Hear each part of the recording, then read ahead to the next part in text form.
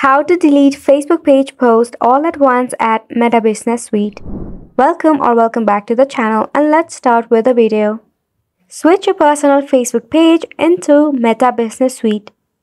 To do so, all you have to do is select on the option of Meta Business Suite right under More Tools in your left hand side. Once you tap on it, you'll be redirected to the Meta Business Suite of your profile page.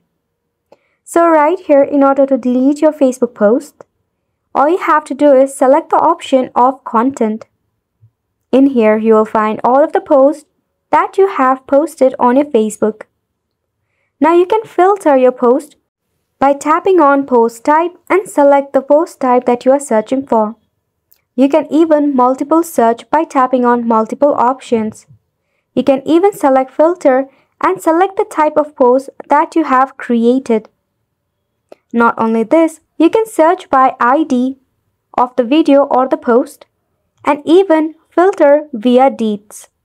To delete your post, all you have to do is tap on the three dot icon, then select delete reel option. Then tap on delete. Once you do this, your post will be deleted from your Meta Business Suite. If you have multiple posts, you will even get a box icon at the top by selecting the box, you'll be able to select every post available.